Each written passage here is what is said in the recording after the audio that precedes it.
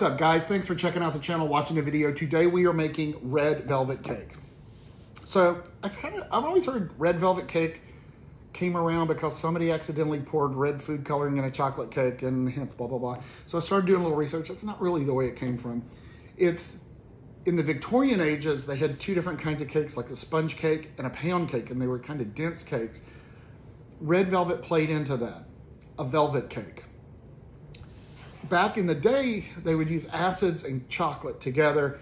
When you mix those two together, it kind of gives off a reddish tint, hence the red. So they had a cake called a mahogany cake, which was a reddish brown cake, like the color of mahogany wood somewhere along the line around the 1911, they supposedly mixed that with the devil's food cake. So you had a dark cake with a reddish tint.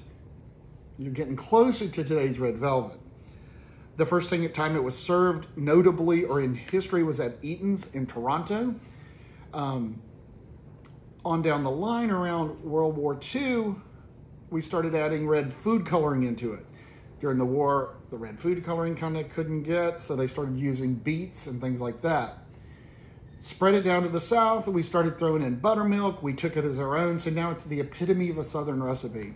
It became famous recently because of steel magnolias, and I think that's really popped up the, the uh, notoriety on Red Velvet because everybody wanted a piece of Jackson's Bleeding Armadillo cake with gray icing, which we don't know how I would make gray icing. It's a quote. Anyway, guys, here's the recipe for red velvet cake. Hope you like it. Don't forget to hit subscribe down below. We need you all guys as subscribers. We're trying to grow our membership. You guys have a great week. We'll see you all soon. All right, guys, let's go ahead over the ingredients that we have for our cake. We're gonna put this together first. You're gonna start out with three cups of flour, and you're gonna mix together with that one teaspoon of baking soda, one half a teaspoon of salt, one tablespoon of uh, cocoa, dark cocoa, unsweetened natural cocoa. In total, you're gonna need two and one half sticks. That's one and a fourth cups of butter. You're gonna need one tablespoon of vanilla, one tablespoon of distilled white vinegar, one bottle, we're gonna use part of that, of red food coloring, four eggs separated, one cup of buttermilk, extra vanilla and a pinch of salt for the icing. We're gonna use one cup of vegetable oil or canola oil, powdered sugar, and then white sugar for the cake. So first thing we want to do is set out, oh, and cream cheese. Oh, don't forget cream cheese. Two blocks. We're going to set our cream cheese and our butter out and let it come to room temperature. We're also going to spray three eight inch cake pans and they're lined with parchment paper. I don't flour, pre-flour the cake pans because I don't like, it makes a gummy ring around the cake. So I know a lot of people say grease and flour. I don't do that. I just spray it really good and put a liner of parchment paper. All right, we got our softened butter. I actually zapped it a little bit. I probably got a little too much, but it's all right. So we're gonna put our butter in the mixer. We're gonna put our two cups of white sugar in here. We're gonna mix this for about a minute until it's combined. Oops, sorry. Until it's combined and soft. It's not gonna get fluffy like cookies and butter. If you ever mix, make cookies, you gotta, till it's lighter in color. This is not gonna do that. good enough. To this, we are going to add our oil, which is one cup of vegetable oil. We're going to add our egg yolks to that. We're going to add our one tablespoon of vanilla extract to that. And we're going to add our one teaspoon of distilled white vinegar to that. And then Mix that together.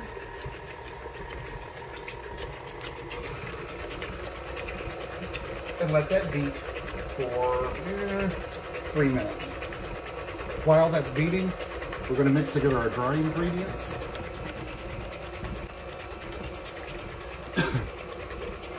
That'll be your white, I mean your flour, all-purpose flour, two tablespoons of cocoa, one, one teaspoon of baking soda and one half a teaspoon of salt.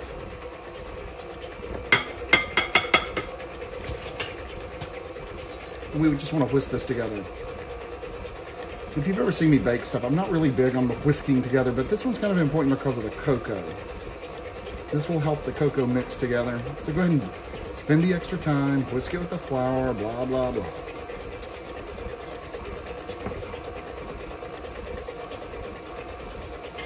All right. So that's about done. We want to add our food coloring, our red food coloring.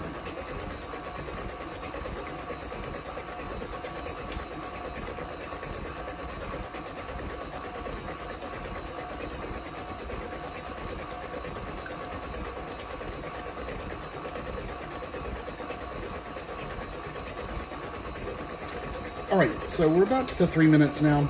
We're gonna add our food coloring. This is one fluid ounce. I'm just probably gonna add about half. You want a lot of red food coloring. Turn on low, because Lord knows if you get this anywhere, it's gonna stain it. Kind of look at the color and see where you're going. You may wanna get some more. And we do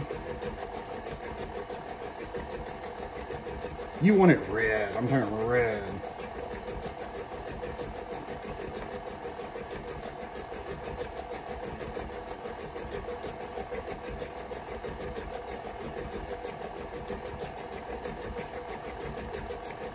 You know what? One fluid ounce it is.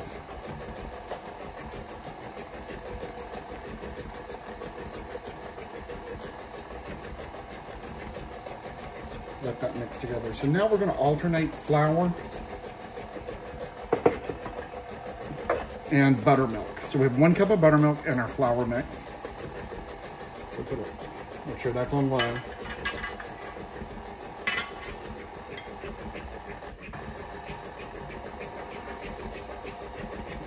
Dash of buttermilk. I'm gonna turn it off because it's gonna throw this. So I'm doing two thirds a cup at a time.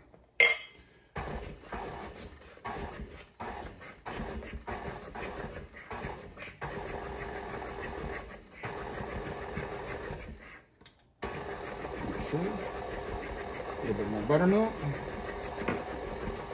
So we have two different acids going in here, the vinegar and the buttermilk. Just kill it. Another two thirds of this. And I just made mess.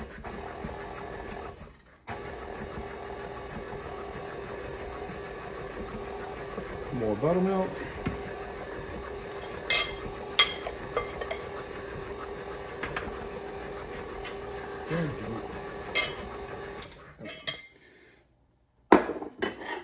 let me we'll dump the rest of the buttermilk.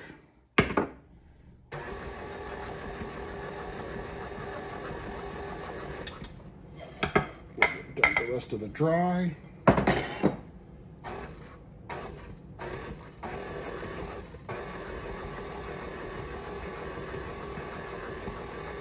Just let that mix till it's combined. Stop, scrape down your sides.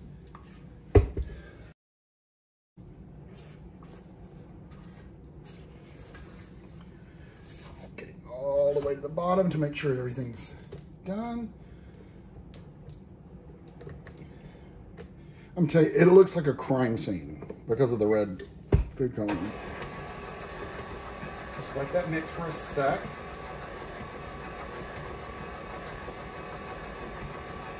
As Martha says, Martha Stewart, an, an impeccably clean bowl.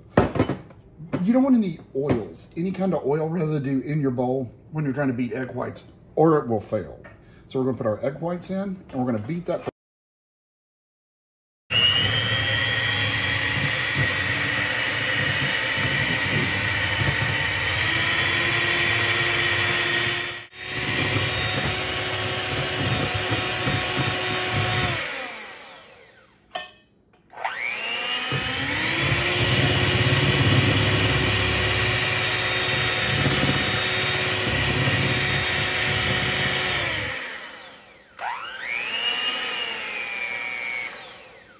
Okay, we're gonna call that stiff peaks. All right. So we have our cake batter. I'm just gonna stir it around here to make sure it's mixed really well. We're gonna dump your egg whites in. We wanna fold these together. Much like folding in the cheese, if you get that reference, the way to fold is to cut in the middle, bring it up, fold. Just do like that. You just don't want to stir it hard. You want to fold it in gently so you're not going to deflate your egg whites.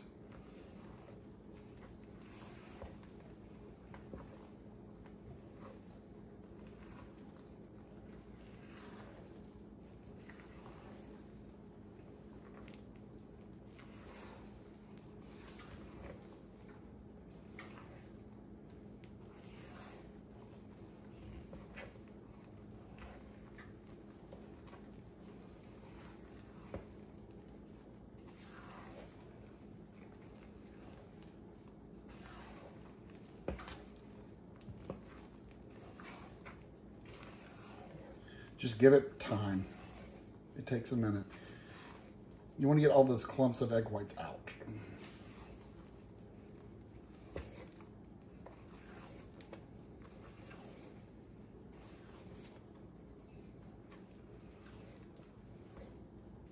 Okay. All right, we're ready to put it in the pan. I'm just to use my cup, measure. So I just kind of divvy it out a little bit at a time. So one,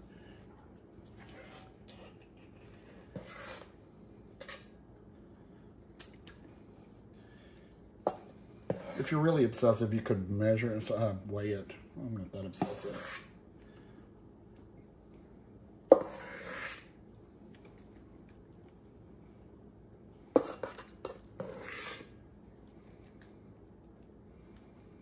Okay, so one more last one. Put one more in that.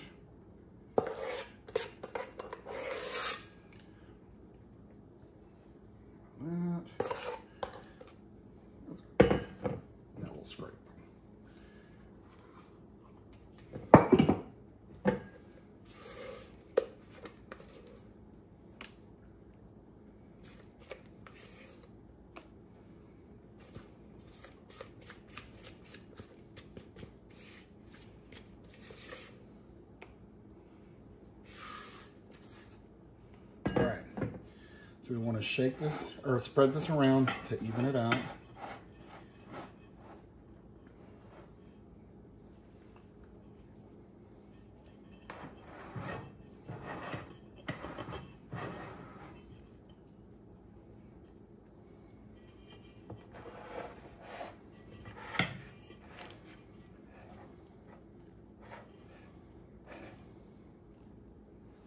All right, kids ready for the oven.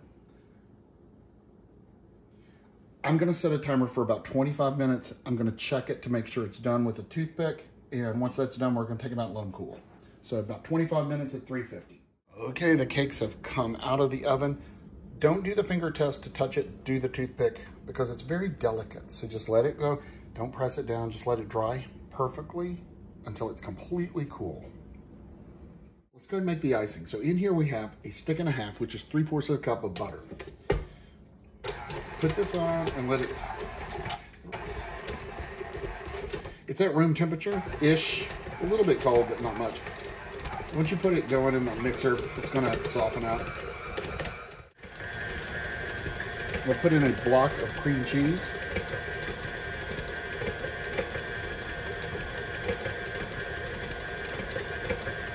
over. Jeez. There we go.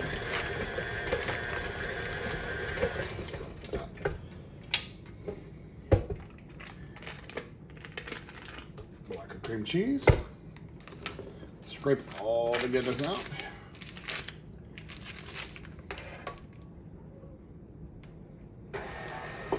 Mix that in. We have a second block of cream cheese. This is also room temperature. I actually throw this in a little bit of warm water to get it a little warmer than room temperature.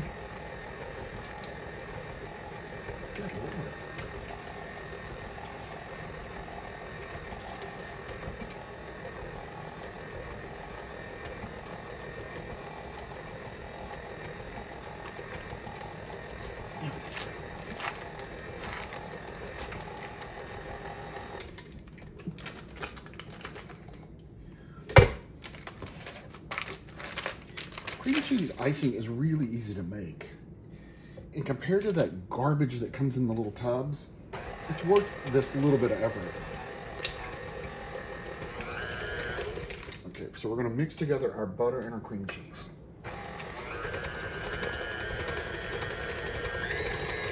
Now we have about five and a half cups of powdered sugar, or confectioner sugar. What? I did it without a mess. But the mess is yet to come. And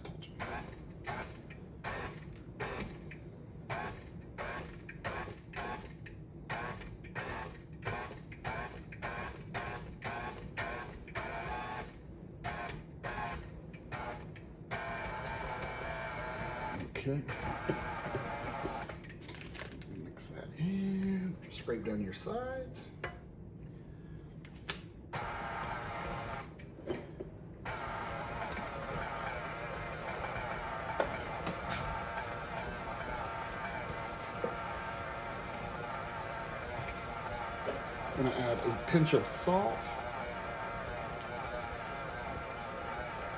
And about two, uh, uh, teaspoon and a half of vanilla. That's one.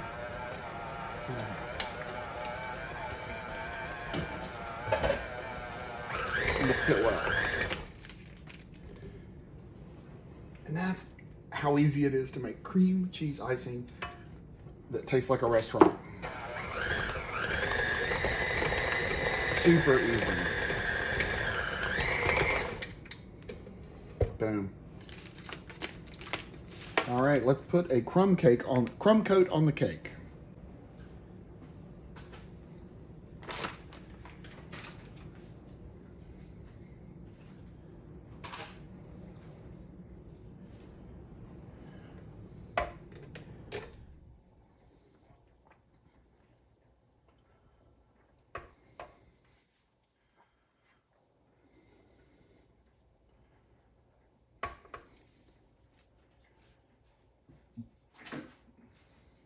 So we're going to do it directly into the cake container.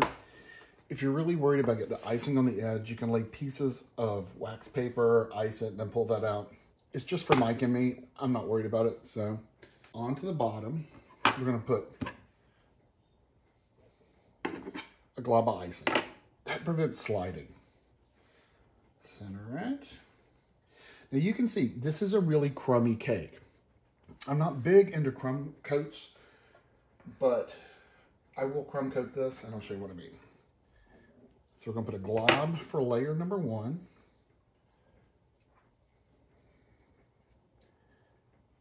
Start in the middle and push out, kind of waving it out delicately.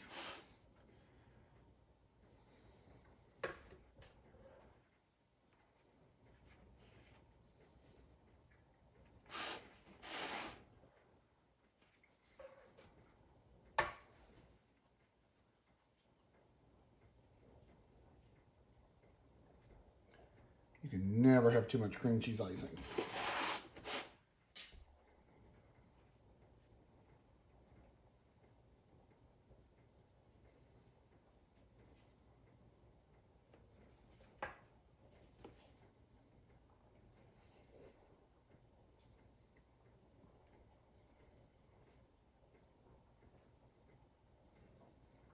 Okay, layer number one drop on layer number two.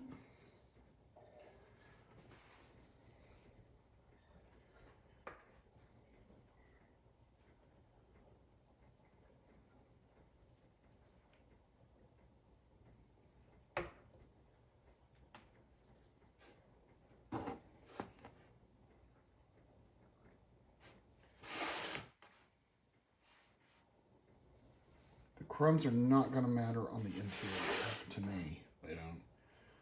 There might be some perfectionists out there that it does, but I don't really care.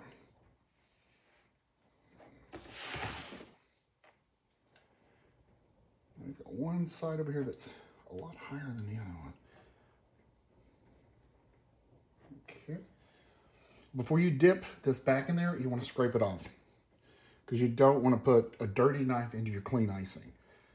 I'm just to actually use my finger. scrape it into that. Layer number three.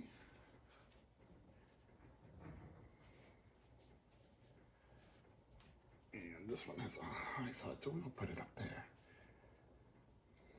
Okay. So now, now we're going to put our crumb coat, which basically your crumb coat is a thin layer of icing. And what this is going to do, we're going to put this in the refrigerator and let it get cold. That icing will get hard, so when you put your other, your final layer of icing on the outside, it's going to be smooth and it's not going to pick up these little crumbs like it's doing now.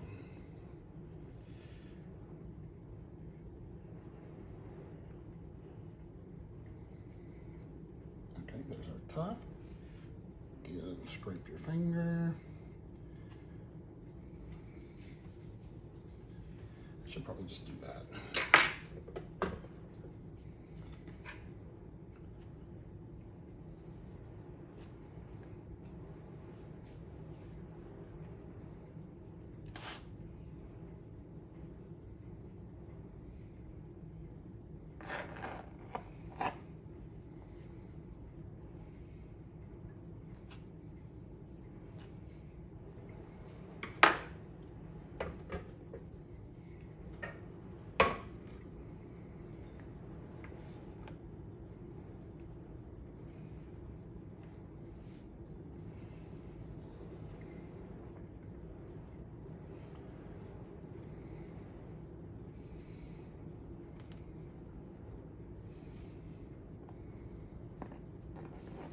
See, it looks horrible here because you're picking up so many crumbs.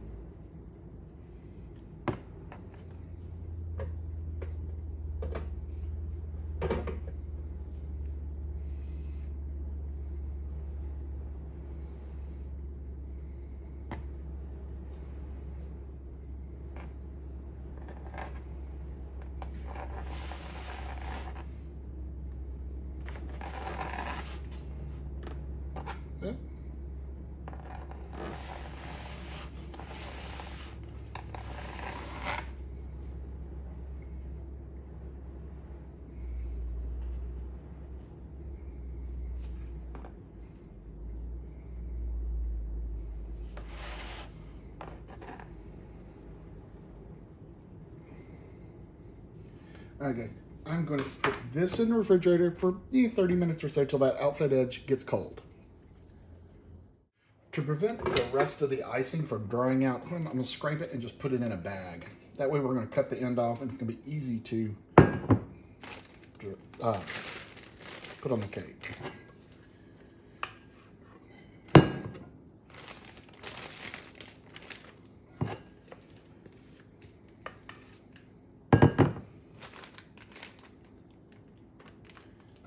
Yes.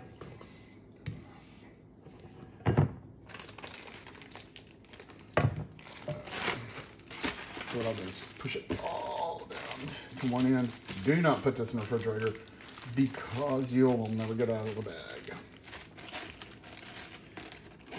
Just put that to the side to your cake chills. All right, guys, let's get ready to ice. So we have our icing in our bag. Push it to the edge. This is cold. This is not. So what I'm gonna do is just kind of spread it out with the bag, put blops everywhere. Get this thing. These are not the best bags for this because they have this weird little pleat at the corner. But I guess that's what I get for buying cheap Walmart bags. So we'll just blop some out. And let's put some around the edge because we're gonna spread this with our offset spatula.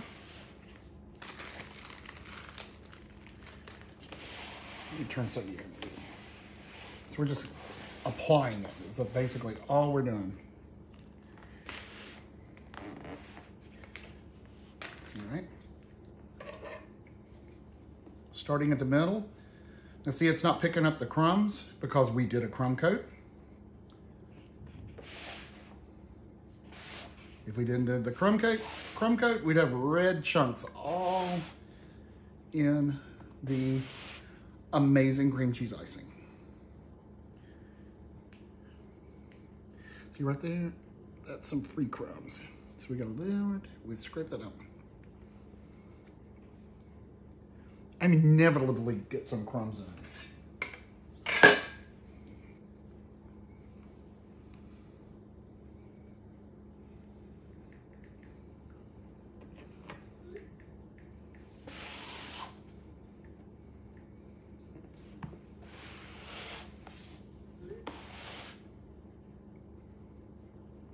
If you hear something, it's Michael over there texting.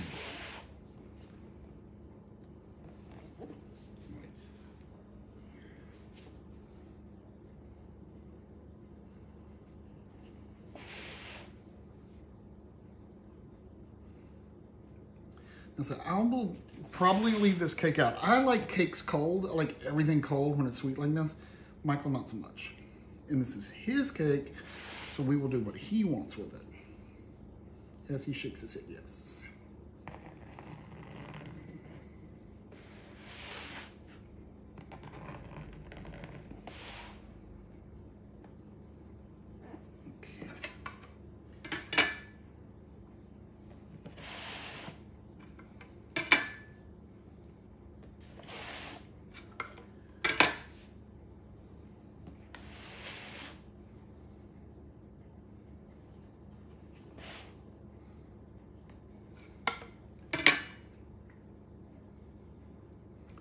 trying to keep those crumbs inside.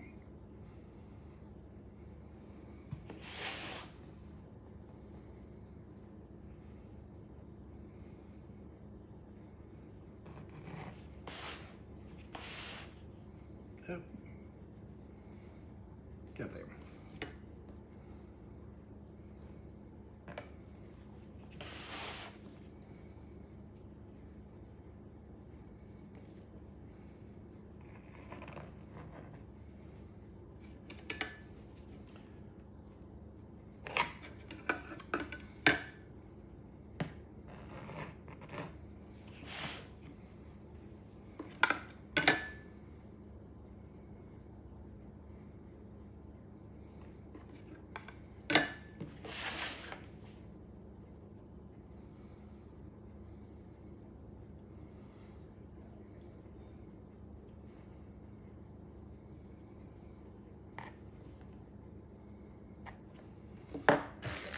Bit more icing in here. Put it right in these spots that are low.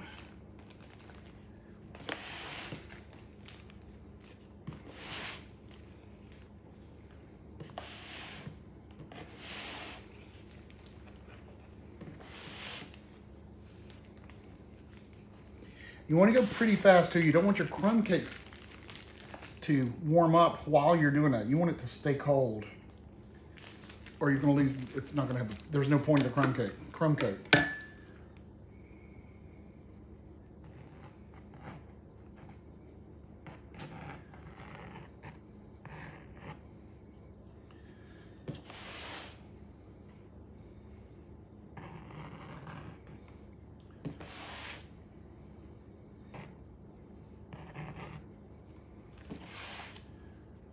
Let's go down.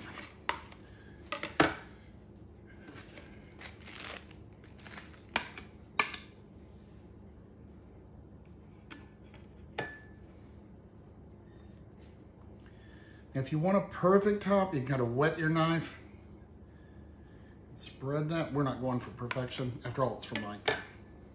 What? What?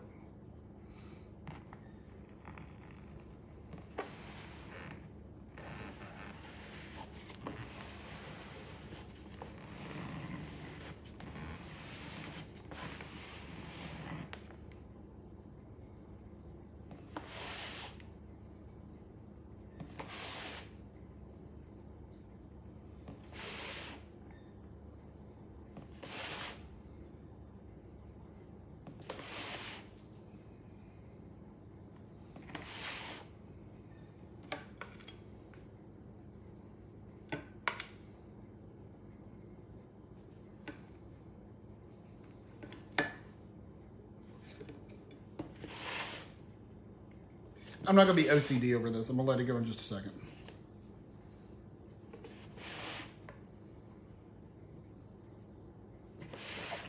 Right after I get these edges done.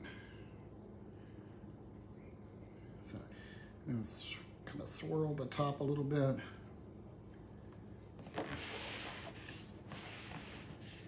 To make it beautiful.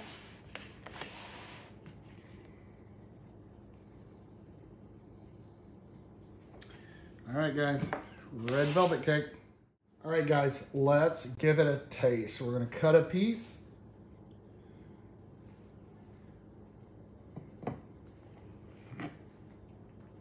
Clean your knife.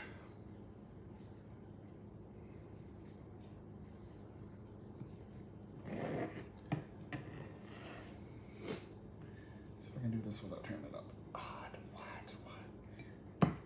Yes! All right, let's taste. All right, guys, first of all, smell. Chocolatey. Smell that buttermilk in it? Smell like cream cheese, yes. Mmm. Okay, here it goes. It's dense, beautiful crumb.